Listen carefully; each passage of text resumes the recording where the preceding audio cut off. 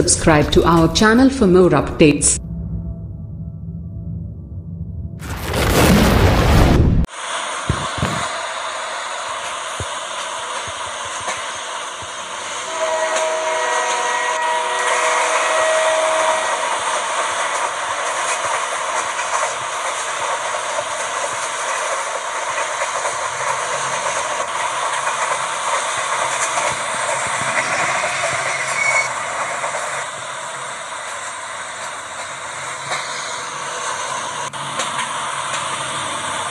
Thank you.